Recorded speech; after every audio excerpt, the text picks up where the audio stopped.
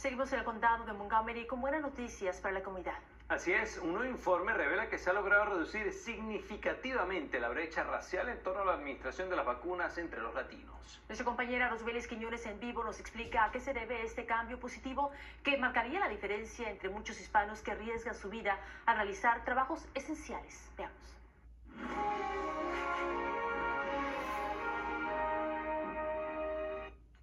Así es, al parecer las iniciativas para promover la equidad racial en la distribución de, la vacuna en el condado de Montgomery están funcionando. Y es que este mes las autoridades anunciaron que el 60% de las personas hispanas y afroamericanas de 65 años o más ya han recibido el medicamento.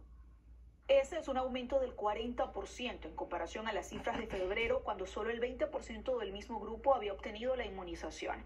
En la jurisdicción, la brecha entre personas blancas de todas las edades y aquellos de color que han obtenido la inyección es de 17%, cuatro puntos por debajo de la media estatal. Dos esfuerzos que se están realizando como en proyectos como, por ejemplo, el proyecto de Por Nuestra Salud y Bienestar de, eh, de la Iniciativa Latina de Salud del Condado, que está permitiendo llevar educación, información y llegar a la población allí donde vive. Y en segundo lugar, la ampliación de lugares donde se están administrando la, la, la, vacuna. Funcionarios de Montgomery aseguran que el trabajo no está completo y María Peterson concuerda con ellos.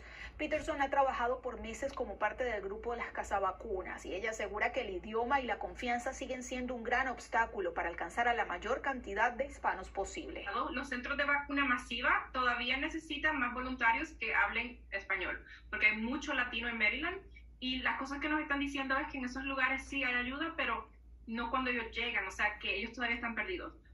Entonces eh, yo pienso que nosotros nos sentimos más confiables que esté dentro de, del ramo de la vacuna gente hispana para sentirnos más seguros.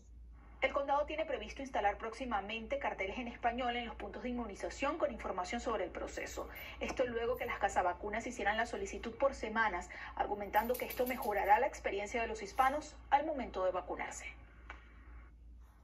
Recuerde que si usted vive en el condado de Montgomery puede obtener información en español sobre el proceso de vacunación llamando al número que tiene en pantalla.